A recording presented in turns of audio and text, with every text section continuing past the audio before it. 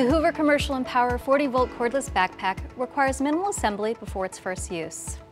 Align the button on the lower wand with the hole on the upper wand and insert it until it clicks. Then firmly push the hose over the other end of the upper wand past the raised ring. Insert the opposite end into the vacuum. Attach a floor tool by loosening the cuff on the lower wand. Fully insert the tool and retighten the cuff. To adjust the upper harness, use a Phillips screwdriver to remove the screw from the adjustment bar. Adjust the height and reinsert the screw.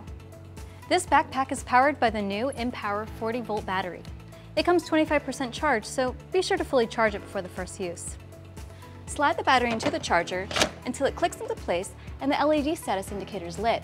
If the indicator light is orange, the battery is too hot or too cold to charge. It will begin charging once it reaches the proper temperature. Please contact us if the light is ever flashing red and green, in case there's an error with the battery.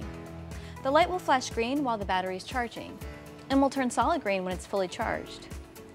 To remove, press the release button and slide out the battery.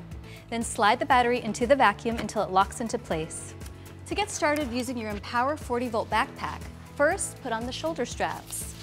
Then tighten the waist strap until it's secure and comfortable. Pull down on the straps until the harness touches the shoulder blades. You should be able to slide your fingers between the straps and your shoulders.